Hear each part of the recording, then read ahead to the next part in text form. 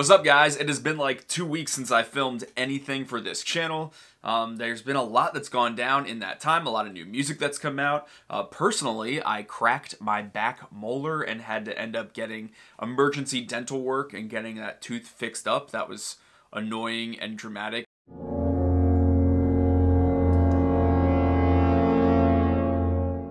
I got uh, more active on TikTok.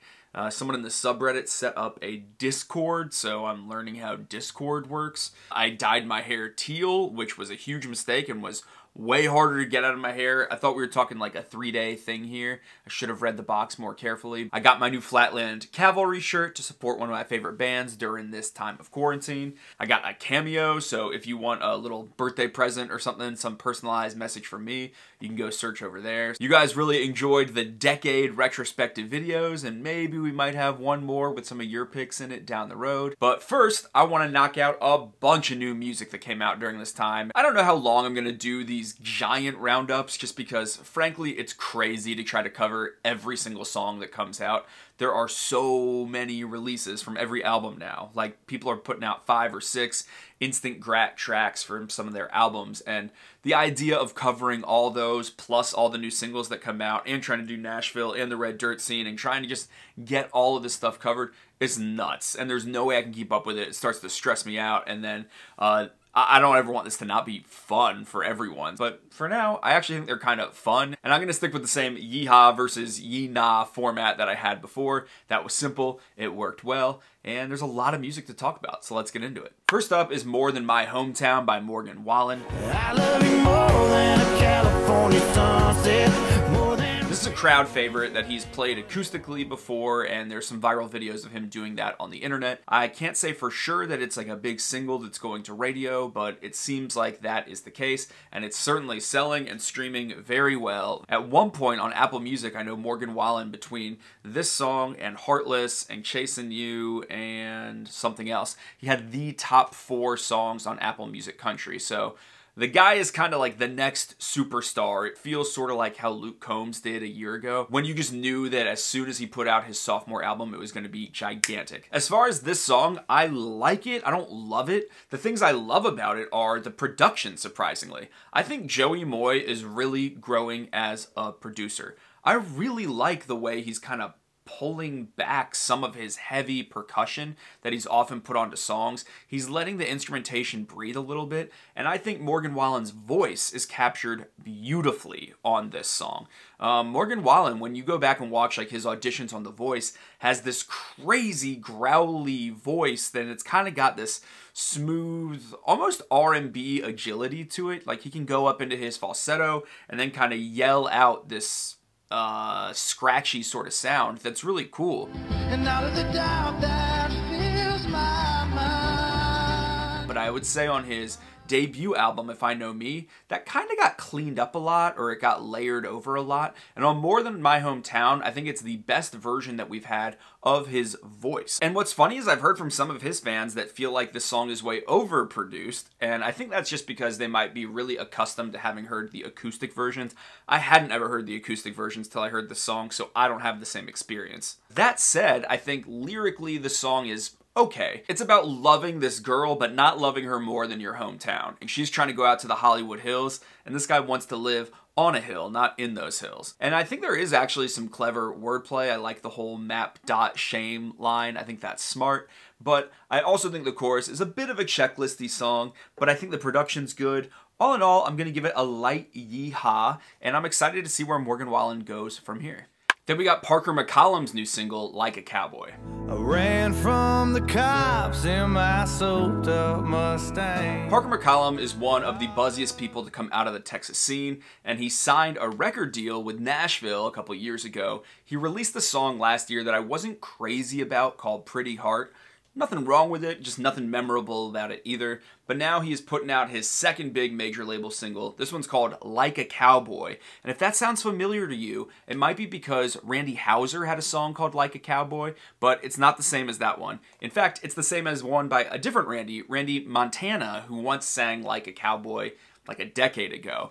This is a song that was co written by Chris Stapleton. It's been a buzzy song within Nashville for years, and now Parker is putting it out, and I think it sounds great. This is a song that is simply imagining yourself as a cowboy and how you're not as good as people want to think you are, and you're driving away in your car, and you're almost imagining, like, I could have been a cowboy. It's pretty simple, but I think most of us have felt that way at one point of our lives. Like, man, I could be someone that's just out on the run, riding into the sunset, misunderstood and brooding. And honestly, that is kind of the vibe of Parker's music as far as I understand it. You look at a song like Hell of a Year and a song like Pretty Heart and now Like a Cowboy, there's nothing especially fun and effervescent about these songs. He does this kind of melancholy, longing thing pretty well, and his voice has a timbre that makes songs that otherwise could feel sort of droopy feel a lot more intense because there's a kind of readiness in his delivery. When I ride like a thief I have sometimes jokingly said that Parker McCollum's music is good for the hashtag sad boys among us, and like a cowboy fits with that too. I'll give it a yeehaw. Then we got Champagne Night from Lady Antebellum. So this is a song that Lady Antebellum made on the NBC show Songland, a show about songwriting, and so it features 11 songwriters because you got the band, you got the judges on the show, you got the contestants, and it feels like it has 11 songwriters. This is a very, very, very well written Lots of like smart little word choices all through the song, but generic party song about not needing champagne glasses because you're going to drink out of plastic cups. A lot of people think it sounds a little too close to Maren Morris's song Rich, and I think it's a fun but ultimately really shallow song about lifestyle branding as a country person. I think from someone else, it could maybe work a little bit better than Lady Antebellum, but I feel like they've always framed themselves as these sort of a little bit more cosmopolitan type country stars that actually are hanging out in the city, that actually are covering themselves in diamonds and drinking out of champagne glasses. I mean, one of their biggest hits is a song called Bartender about drinking cocktails. And in the video, they are surrounded by crystal chandeliers. And then in this song, they're rejecting both of those. So I kind of find it hard to take seriously. And even though I really enjoy songwriting processes and seeing people tweak music and figure out how to make it as mass appealing as possible, a show like Songland that is meant to be about how do you kind of factory create a song rather than how do you express an individual perspective, it's going to create songs like this that sound good, have some good words, and then ultimately feel a little bit hollow. So I'm going to give this like a light ye nah. Now that said, I think it is really cool that this song is clicking a lot with audiences. It's selling really well, and the label has responded by shelving Lady Antebellum's current single and saying, no, we're pushing this to radio.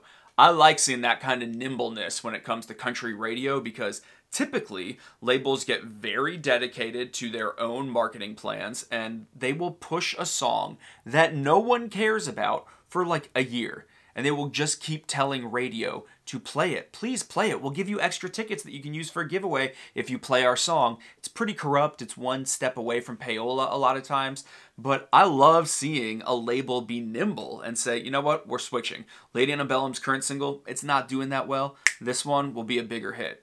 I like seeing that. And then we have Brett Eldredge's new single, Gabrielle. Oh, was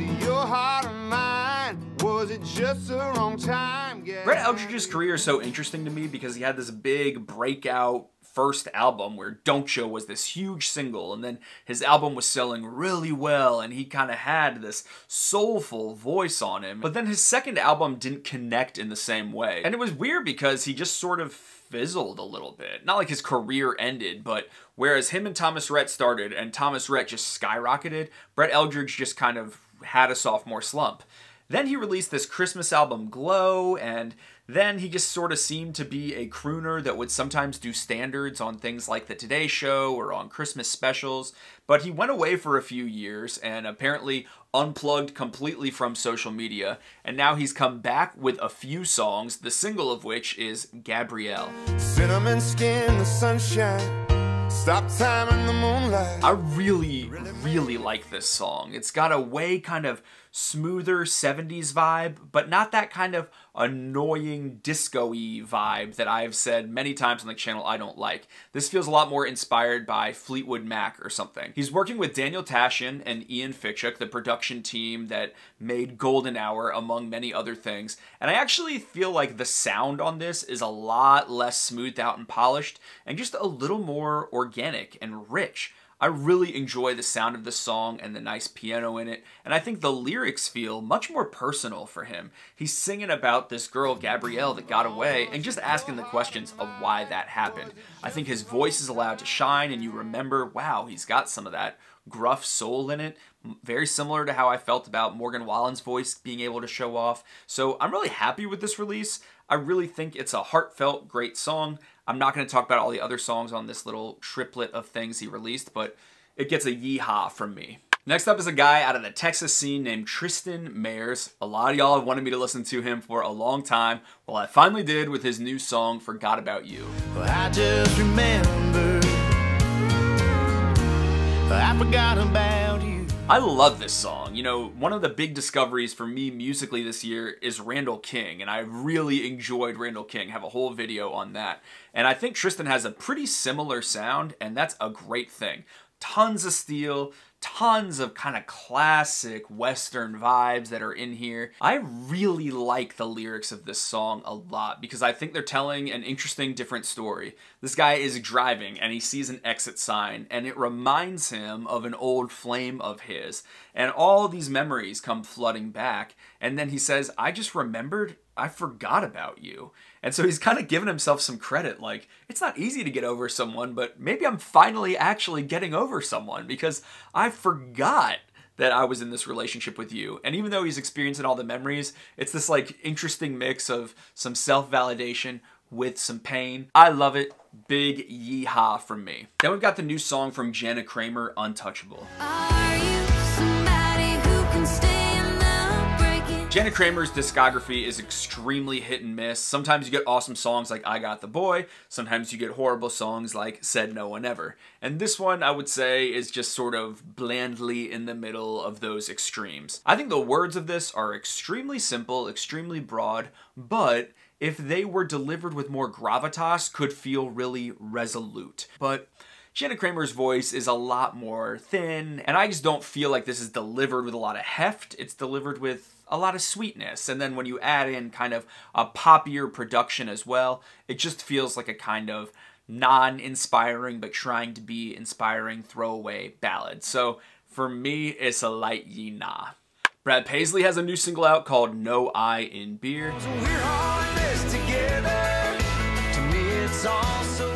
This song is fun. It's very Brad Paisley. It's very kind of silly. It's all kind of hinging on one really fun chorus hook, which is that we're all in this together and we should all have a drink with one another because there's no I in beer which is smart, it's fun, it's got all the great guitar that you've come to expect from Brad Paisley, all the kind of dad joke humor of it. It's likable, it's not earth-shattering. I'll just give it a very light yeehaw. Diplo and Blanco Brown have put out a new song called Do-Si Do, and let's talk about that next.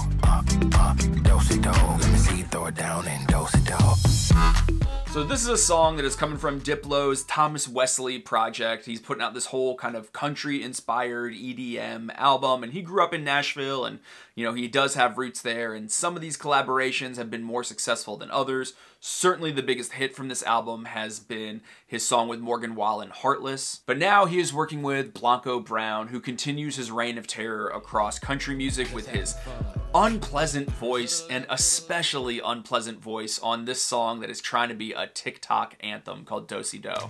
Favorite part of a honky tonk, them days don't, don't. He kind of creepily speaks the verses about honky tonk, donk donks, and there's nothing to this song. It's totally flimsy. It is just meant to be a dance track. Even the video is just suggesting dance moves you could do because clearly they want this to be another version of the get up and just get people dancing to it. It's a horrible example of this kind of meme country that we're entering. We're starting to see songs in the pop sphere that are being released purely so that they can go viral on apps like TikTok. Things like the Toosie Slide by Drake.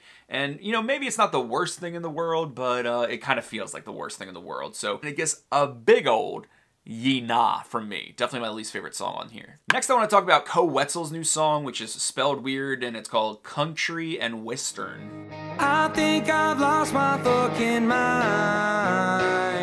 So Koe Wetzel, as I've talked about on the channel before, kind of brings a Nirvana-like energy. I think Parker and him both attract sort of fans that want to feel bad about breakups and maybe drink a little bit too much. But whereas Parker fans might want to text their girl late at night and say, like, let's make things better, Koe fans just want to keep drinking or maybe do drugs and really just bask in how bad they feel. And that definitely seems like it could be something you do to this song. It's got the same kind of heavy rock vibes and self-loathing that I've come to expect from him. I actually kind of like the sound. I don't think this is to me his hookiest or catchiest or cleverest of any of his songs, but it definitely rocks out. And so I'd give it just, I'd say, a standard Ye. One is Lee Brice. He has a new song called One of Them Girls, which has the lyrics of a boyfriend country song, but the vibes of a bro country song. You one of them girls that ain't trying to meet nobody.